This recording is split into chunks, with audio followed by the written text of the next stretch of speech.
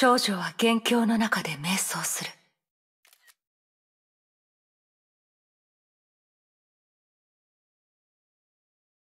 元気を作る装置は趣味消しという。ある先駆者が2年前に彼女に渡した贈り物だ。そして瞑想を共にするのは、天命最強のバルキリーを象徴する武器、黒煙白化。それは危険で高潔な武器。生と死の力がその中で共存しながらも、決して混じり合うことはない。世間にある孤独と絆のように。武器の前の持ち主の名前は、セシリア・シャニアテ。五年前、旅の仲間の影響で、彼女はこの先輩に興味を持つようになった。数年後、主教は聖なる血と空の律者の来歴を彼女に教えた。その結果、いつからか、彼女は普段の任務で黒煙白化を使わなくなった。武器を使いこなせないわけではない。彼女の崩壊エネルギー体制は非常に優れており、ランスを自在に扱うことができる。彼女が敵を甘く見ているわけでもない。事実、たとえ軽い手合わせでも、彼女は全力を出す。そういった形で相手への尊重を表現する。もちろん、バルキリーたちの間で流れる縁起の悪い噂が原因でもない。確かに、黒煙白化の歴代の持ち主は全員非業の死を遂げる。それは、かすらな一族の天下制裁よりもずっと悲惨なものが多い。武器は所詮武器。どのような人であれ、戦場へ行けば死に直面する。何の武器を使うかは関係なく、戦術的な面も関係ない。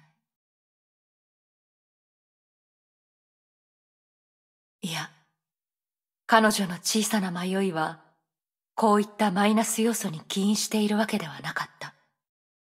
むしろそれは最適な距離感を作り出し、神の鍵、黒煙白化を実戦で使おうとするデュランダルを止めている。心の中で、彼女は何度も確認した。自分が本当に、あの風や詩のような、または歌や血のような彼岸の境界に触れられているのかどうかを。それまでは、ビアンカ・デュランダル・アタチナは、元の持ち主からこの武器を借りているだけに過ぎない。訓練中に申し訳ありません、デュランダル様。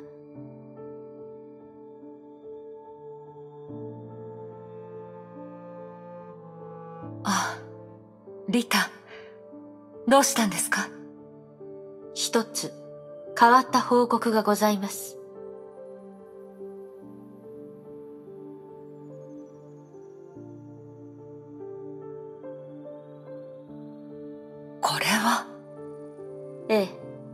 それが関係のない一般事件をつなげました。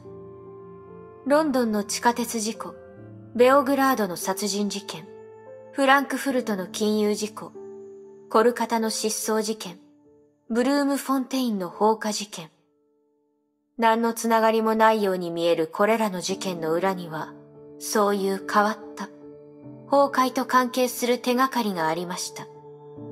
それと、ベオグラードの殺人事件は警察の方が自ら連絡してくれましたが、残りの4件は天命に関わる方々が近くにいたからこそ、偶然手がかりに気づけたのです。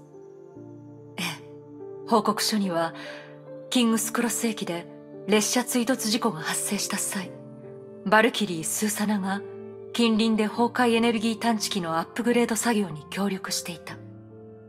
彼女は持ち歩いていた専門的な設備を使い、列車の残骸下にあった第二号証拠を発見した、と書いてありますね。事件で入手した手がかりは、すべて戦闘1504研究所に提出し、分析を進めてもらいました。しかし不安なのは、所長の長光様のお話によりますと、報告書だけで5件もあるということは、確率をもとに計算すると、似たような事件がすでに500件、最悪の場合5000件が全世界で発生していると考えられる点です。それは、まるで伝染病みたいですね。ええ。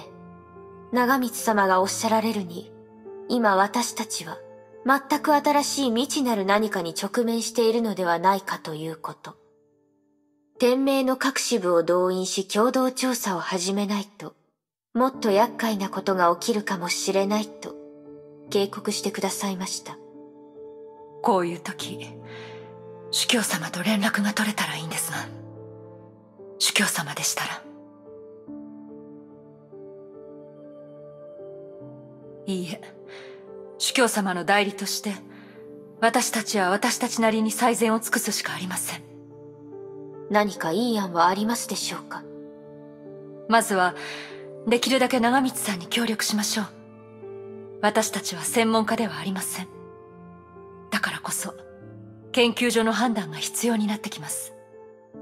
それから、関連データと進捗を全部、ヨルムンガンドとネゲントロピーに共有しましょう。何もかも隠さずに。ヨルムンガンドとは現在同盟を結んでいますので問題はないと思いますが、ネゲントロピーの方は。もし主教様がこの場にいたとしたら、きっと私たちを阻止するでしょう。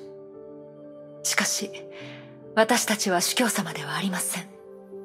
あの方のように何でも見通すことはできませんし、独断専行するわけにもいきません。ですから、主教様のやり方を真似することには何の意味もありません。あの方が戻ってくるまで、私たちは私たちのやり方で崩壊と戦わないと。かしこまりました。情報共有に関しては、琥珀様と共に進めます。こちらはまだ午前中ですが、時差を考えると、シュレーディンガー博士の友人たちは、もうすぐ眠れない夜を迎えることでしょう。